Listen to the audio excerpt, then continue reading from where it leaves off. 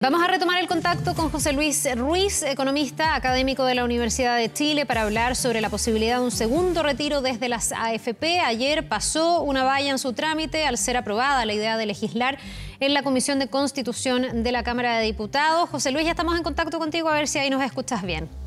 Sí, lo escucho perfecto. Bien, eh, a ver, yo decía, eh, esto es un primer paso, pero todo indica que habría tierra fértil para que esto llegue a convertirse en una realidad. ¿Cuál es tu mirada con esta posibilidad de que se retire por segunda vez dinero desde las AFP? Eh, Carla, mira, lo que hay que tener presente es que hay un consenso de los técnicos de manera transversal de que lo que se requiere es avanzar en el sentido contrario, avanzar hacia crear mecanismos que permitan a ahorrar más para la vejez. Entonces, en este sentido, técnicamente la propuesta no goza de, el beneplácito de la parte técnica. Eh, claramente, eh, esto es muy popular para las personas tener esta liquidez y poder enfrentar coronavirus u otras necesidades que, les surgen. Eh, para ello es muy positivo. Sin embargo, es por eso que tenemos un sistema de ahorro obligatorio, porque las personas de manera voluntaria no lo harían. Entonces, en este sentido, esto va en el sentido contrario a lo, a lo que uno técnicamente aconseja. Sí, lo primero que uno puede decir, y es parte también de la argumentación del gobierno y de quienes se oponen, es que evidentemente sacando plata de los fondos de pensiones no se van a mejorar las pensiones, todo lo contrario, se van a perjudicar. ¿Hay alguna estimación de cuánto y quiénes serían los más perjudicados desde este punto de vista con el retiro del 10% por segunda vez? Porque la primera vez ya se hacían estimaciones, eh, ¿qué pasa al hacerlo por segunda vez? Mira, las estimaciones que, se han entregado son que con este primer retiro, uno de cada cuatro personas que estaban afiliadas al sistema hicieron el retiro, que son como del orden de 2,5 millones de personas. Y si se permite este segundo retiro, ahora serían 4 millones de los casi 11 millones de afiliados, o sea, uno avanzaría hacia como cerca de un 40% del sistema. ¿Por qué no, no avanza de la misma manera que la vez anterior? Es porque hay un grueso de personas que ya quedaron con saldo cero.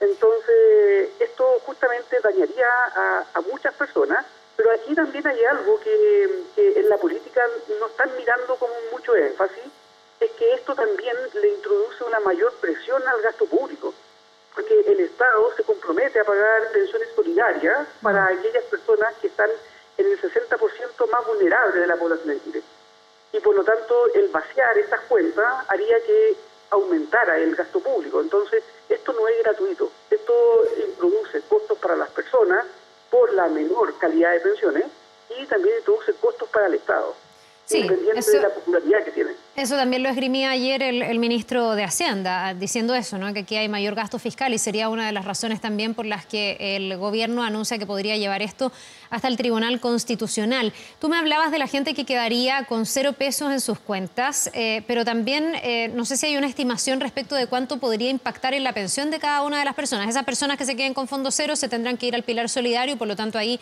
hay un mayor gasto para el Estado, para el fisco. Pero en, no sé, la trayectoria de una persona joven y otra que no sea joven, ¿cuánto afecta a las pensiones el sacar otra vez el 10%?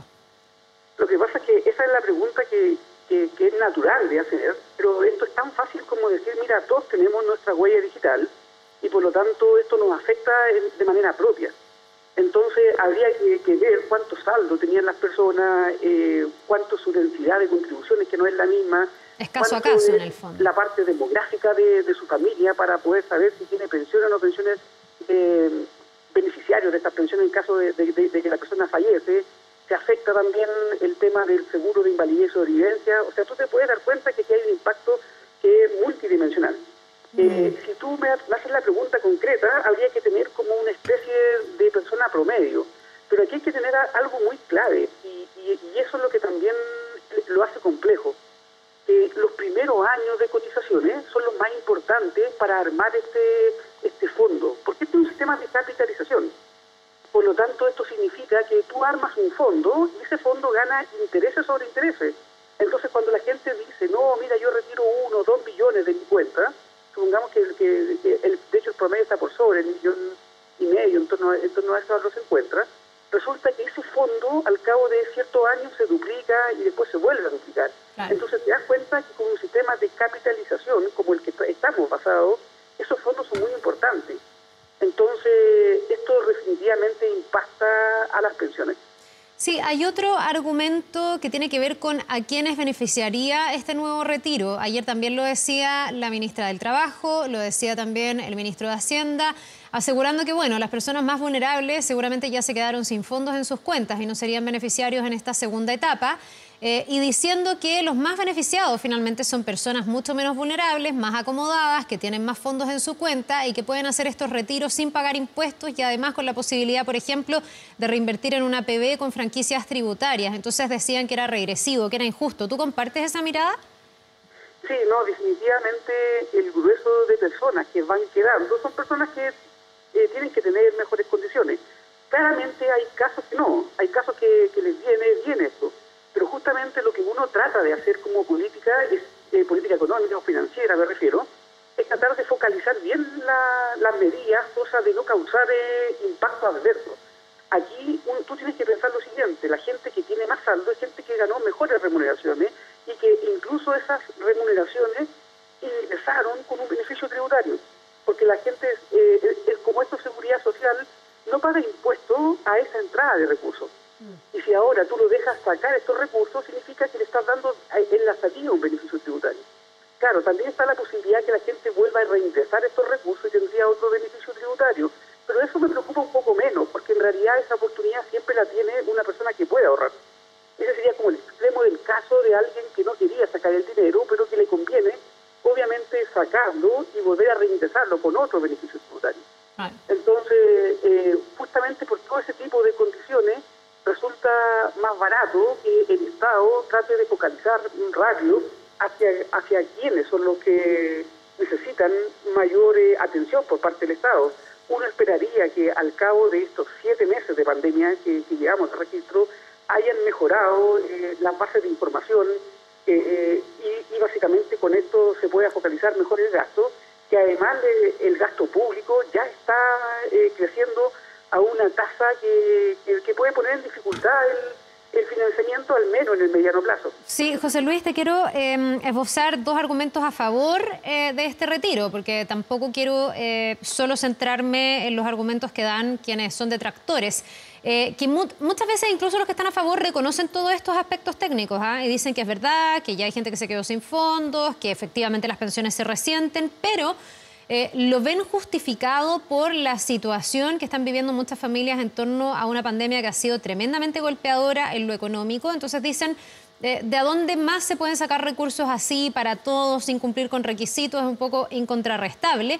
Y por otro lado, también hay quienes señalan que esto de alguna manera también ayuda a la reactivación económica y que fue lo que pasó con el primer retiro, que había estudios que decían que esto se había inyectado al mercado de alguna manera con mayor consumo. Entonces, no todos lo ven como algo tan negativo, también ven que tendría externalidades positivas. ¿Qué piensas tú de eso? Lo que pasa es que justamente eso es cierto en el corto plazo, Carla, pero las consecuencias son de largo plazo. Entonces, reactivar la economía no debiera ser un rol de los fondos de pensiones. Los fondos de pensiones debiera ser buscar la mejor rentabilidad para maximizar el valor de sus pensiones. Porque si fuera por reactivar la economía, por ejemplo, y ojalá que no la escuchen tampoco los políticos esta parte, uno esperaría entonces traigamos los recursos que están invertidos en el extranjero y con eso raqueamos más la economía chilena. Pero eso sería un desastre, sobre todo si uno ve que la economía chilena ha sido un desastre desde el estallido social. Mm. ¿Y qué es lo que ha sustentado que los fondos de pensiones no hayan perdido valor en este año calendario? Es justamente el hecho de que hay recursos que están invertidos en el extranjero. Entonces, si tú te das cuenta, hay cosas que operan bien en el largo plazo como medida, como, como tema de inversión, y no solamente por reactivación, lo cual sería un error. Bien, pues José Luis Ruiz, economista, académico de la Universidad de Chile, muchísimas gracias por haber compartido esta mirada. Nos vamos a quedar atentos, por supuesto, a la tramitación, a ver si esto se convierte efectivamente en una ley, en una posibilidad de retiro o no. Que tengas una buena jornada. Nos vemos.